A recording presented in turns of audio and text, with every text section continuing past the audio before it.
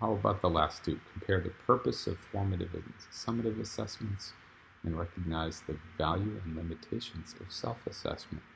Uh, so these are very well described in the reading from CMU's very own Eberly Teaching Center, uh, which is run by Marsha Lovett, a cognitive psychologist.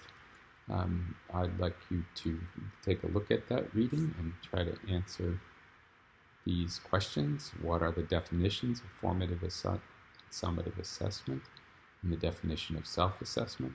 For each, what are their what are some examples? And what are their advantages and disadvantages, or what value do they have, and what limitations do they have? Uh, and then here you can compare your thinking uh, to the following. Uh, formative assessment has the advantage that it aids learning. That's its real value. But it is less secure.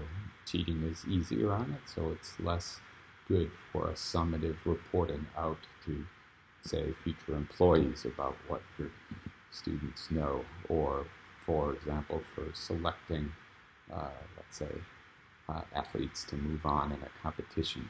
In that case, when you want to use this for communication assessment for communication or selection, perhaps want a more secure and, and uh, not mentioned here, but more reliable uh, form of assessment, and those are summative assessments. Trouble with summative assessments is uh, often they're uh, given uh, too late in, in like at the end of a course to really influence student learning. I should hasten to say they can be used to give feedback for the instructor and the instructional designer. How about self-assessment? Again, go to that reading to see the definition. Essentially, uh, the idea is students ass uh, assessing themselves. What's the value of self-assessments? Well, it can aid learning by giving students a, a better sense of the relationship between their learning goals, their learning outcomes, the behaviors associated with the learning uh, goals they were seeking.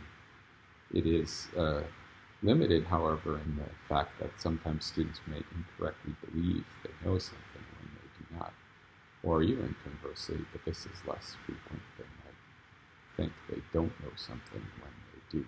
So that's our quick summary uh, of those learning objectives, and this Eberly reading is quick, but you should definitely uh, understand the difference between formative assessments being used to uh, aid learning and give students and teachers feedback on progress, and summative assessments being used more for grading.